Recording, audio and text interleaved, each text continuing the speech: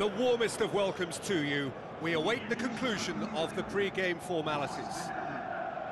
And here we have Eibar against Atletico Madrid. Well, I'm Peter Drury, and I'm joined in the commentary box by the familiar figure of Jim Beglin.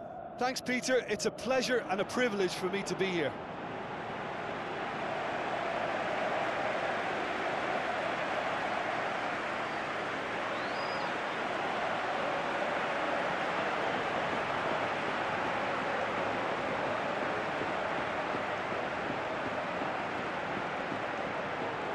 Eibar have chosen to go 4-4-2. Well, it's a setup that places greater emphasis on the supply route coming from out wide.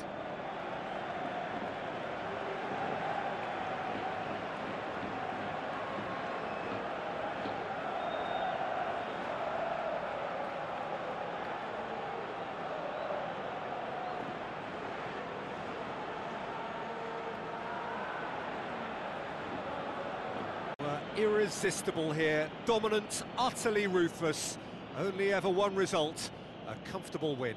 So, Jim, how do you reflect on what we've seen? Atletico Madrid simply imposed their strength from start to finish, and this became as predictable as predicted.